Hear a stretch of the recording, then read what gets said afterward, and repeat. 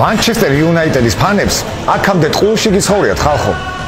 ამ გუნს წითელი ეშმაკები კი არა, თეთრი ანგელოზები უნდა ექოს, იმიტომ რომ ნამდვილი ეშმაკი ნამდვილი ეშმაკი ვინც იყო, ჯერ გუნდიდან განდევნეს, ხოლო შემდეგ ოლტრაფორდზე ადნენ და საერთოდ დამარცხეს. ო, საინტერესო კვირა გქონდა. მესიმ უკვე მე-6 ოქროს ბურთი მოიგო და იუნაიტედმა კი მე-5 თამაში პრემიერ ლიგაში. მოგესალმებით ვარშტაინერიდან. წლების განმავლობაში იუნაიტედის სიტის დაპირისპირება იყო გრანდის ვარჯიში სპარინგ პარტნიორთან. თუმცა ბოლო წლებში ამ გუნდებს შორის ურთიერთობა შეიცვალა და ყველაფერი დაახლოებით ასე გამოიყურება.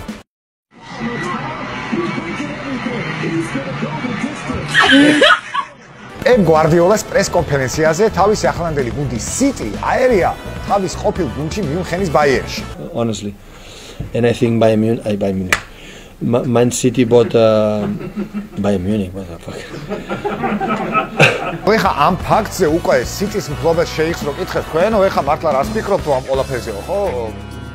შეიხმა თქვა რომ არ არის პრობლემაო, რა პრობლემა არისო, მაინც ზაფხულიდან ახალი მწვრთნელიო ახალი კონტრაქტი უნდა გაუფორმოთო. ეტიჰადზე ქალაქელები მანგუნიანელების წინააღმდეგ დიადი მედბაზმის ეპოქიდან მოყოლებული მანჩესტერული დერბი სრულიად პლანეტაზე აურაცხელ აუდიტორიას იკრებს. მიმდინარე სეზონში მეტოქეებს რთული დროება უდგათ. ქალაქელები დიდი ალბათობით ჩემპიონის ტიტულს გამოეთხოვებიან, ხოლო მანგუნიანელები კი ჩემპიონთა ლიგის ზონას 8 ქულით არიან დაშორებულნი.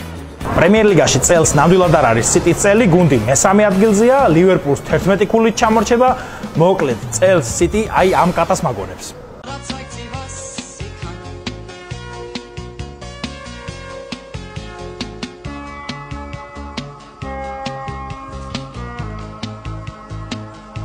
ქალაქელები პორტუგალიელ ჩემპიონ ბერნარდო სილვაზე დიდი მეტებს ამყარებენ 25 წლის ლუზიტანელი ჰაბეკი თამაშის მაღალი კონცენტრაციითა და მწვავე გადაცემათა 87.9 პროცენტიანი სიზუსით გამოირჩევა.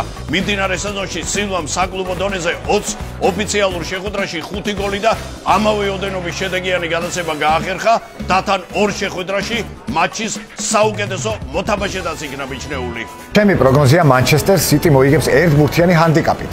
ჯერ დავიწყებ იქიდან რომ ეს არ არის ჟოზე მოურინოს ასაწყობი ტოტეჰემი და გუნდი უკვე რამოდენიმე წელია ძალიან სტაბილური და ძალიან მაღალი დონის ფეხბურთს თამაშობს და არ დაგვაგვიწყოს რომ პეპ გვარდიოლა მათი მსხნელი კი შეიძლება სიტი წელს დაუშვათ ლივერპულს ვერ უწევს ჩემპიონობაზე კონკურენციას მაგრამ მაინც ძალიან მაღალი დონის და ჩამოყალიბებული გუნდია და ბოლო თამაშებში თითქოს გუნდს ყოველთვის რაღაცა აკდა და ვერ თამაშობდა თავის თამაშს. ამ გონია რომ ამ თამაშში ძალიან მაგრად მოემზადებიან და ყველაფერს გააკეთებენ იმის გულისთვის, რომ თელი ბოგმა ამოყარონ მანჩესტერ იუნაიტედთან და მოუგონ მინიმუმ ერთ ბუთიანი ჰანდიკაპი.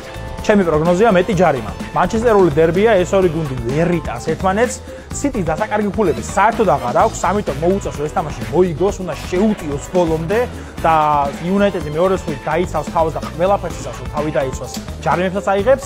ესენი ითამაშებენ კონტრშეტევებზე სიტის საწინააღმდეგოდ, სიტისაც მოუწევს თავი დაცვა და ისინი წარმოერდებიან ჯარიმების აღებას. მოკლედ, ძალიან ბევრი ჯარიმა წამო ამ თამაში მეგობრებო. ლიდერბეტის მოცემულმა მცელმა პროგრამამ ჩემი აზრით საკმაოდ საინტერესო ფსონი შემოგთავაზა. ფორა პლუს 2-თორიანი მეტოქე და ამჟამინდელი სპორტული ფორმისა და დერბისათვის დამახასიათებელი უკომპრომისო ფაქტორის გათვალისწინებით დიდად მეეჭვება რომ ქალაქელებმა დამდეგი შეხვედრა დიდი ანგარიშით მოიგონ